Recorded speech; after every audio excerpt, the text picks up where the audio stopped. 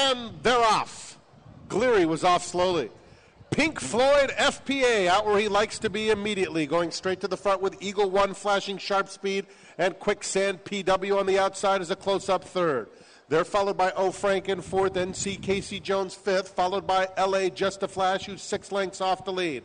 It's a break of three to Gleiry outside of cruising by, and Le Fromage is at the back of the pack.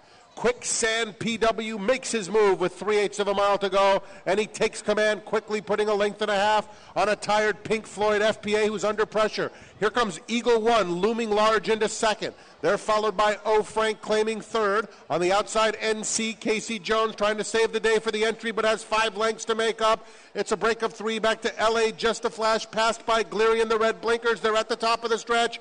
Eagle one on the outside trying to get to Quicksand PW. These two square off furlong from home. Eagle one on the outside. Quicksand PW digging in gamely. Four back to Ofrank in third, followed by Gleiry in fourth. Eagle one was ready to roll today, and he starts to pour it on late. Eagle one.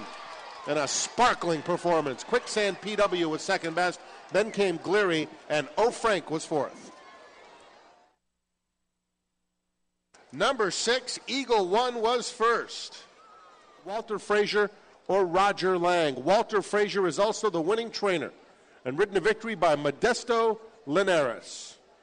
Eagle One was bred in Florida, the running time 111.89 seconds.